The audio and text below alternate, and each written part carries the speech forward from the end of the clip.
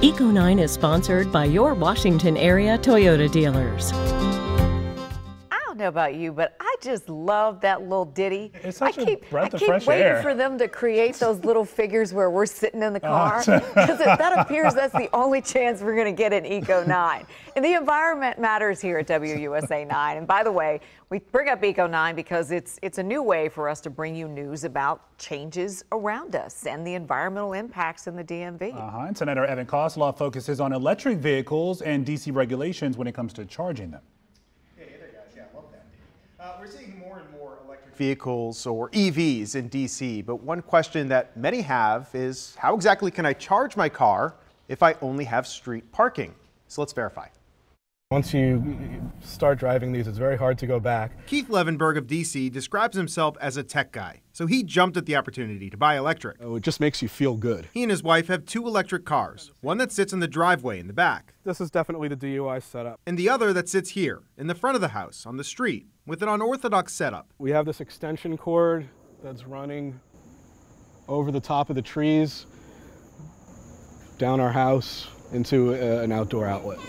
And he's not alone. All over social media, you'll see photos like these cords wrapped around cars, dangling from trees, stretched out across the sidewalk. So let's verify what type of charging is allowed under DC law. Our sources are the District Department of Transportation and the Department of Consumer and Regulatory Affairs. First, it's important to note that not all chargers are the same. Level 1 chargers use a common 120 volt outlet. Depending on your car, it could take days to fully charge. Level 2 chargers are significantly faster. You could usually get a full battery overnight. But these need to be installed, for example, at your home or business. And finally, level 3 chargers are super fast. Some cars can get full power in just 30 minutes. But these chargers are not typically located at homes. This is the official Tesla high powered wall connector.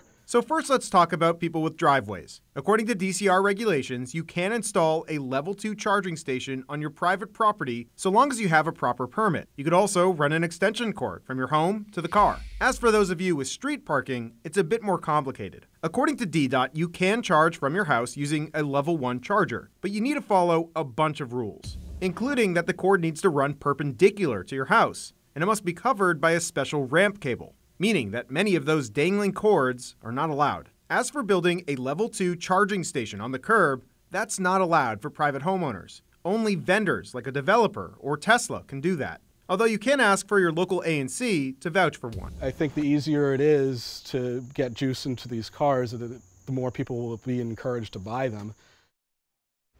Okay, so that was a lot. So just to recap, we can verify that if you have a driveway, both level 2 and level 1 chargers are allowed. But if you have street parking, just level 1 chargers are allowed. And you have to follow a bunch of strict regulations. So guys, if you see one of those dangling wires, yeah, that's probably not allowed.